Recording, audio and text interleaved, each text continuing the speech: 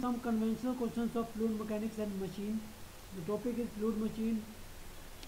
Question number 64 from Engineering Services Mains 2023. A centrifugal pump discharges 2000 liters per second of water, developing a head of 20 meter when running at 300 rpm.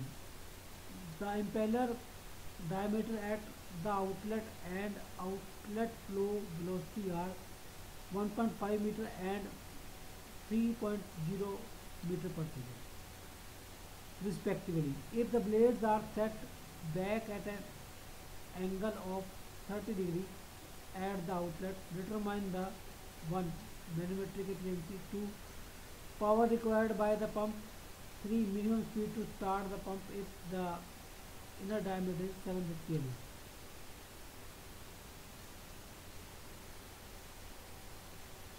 Uh, the charge is given as 2000 liter per second or 2000 liter to minus 3 meters cube per second and the blades are set at uh, 30 degree backward so this angle phi is 30 degree and is uh, 300 rpm hm is uh, is 20 meter outer diameter d2 is 1.5 meter and out uh, flow velocity at outlet is 3 meter so this is your inlet velocity diagram uh, because there is no whirl component in the at the inlet so it is u1 this is your vf1 and this is also v1 and because v1 and vf1 are same and this is your vr and this is outlet velocity diagram as uh, blades are set at uh, 30 degree backward so vr2 is this and this angle is 30 degree.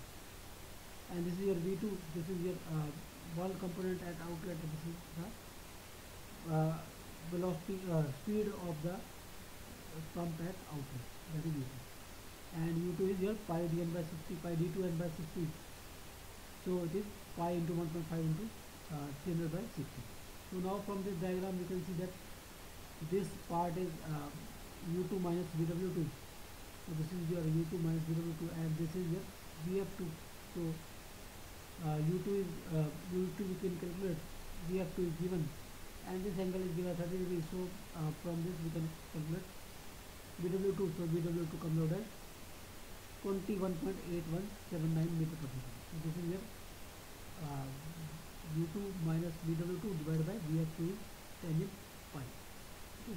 so from this we get bw2 as 21.8179 meter per second and uh, first part now we have to calculate is manometric efficiency so manometric efficiency is GHM divided by VW2 U2.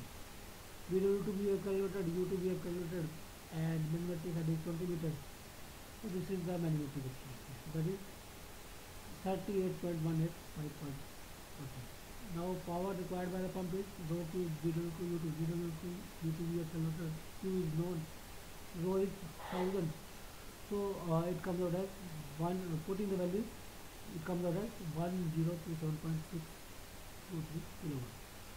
Now third part is to calculate a minimum speed to start the pump. So uh, this is a, a ideal head generated by the pump that is U, U2 square minus U1 square by 2 If uh, all the conditions are ideal then uh, outlet velocity of uh, water will be U2 and inlet velocity is U1 okay or the uh, or you can say are ideal head generation okay. so u2 square minus uh, u1 square by 2d is equal to hm so uh, u2 uh, is corresponding to 1.5 and u1 is corresponding to 0.75 and is rpm okay so now from this we can calculate rpm and this is your 20 meter. So rpm comes as 291.23 r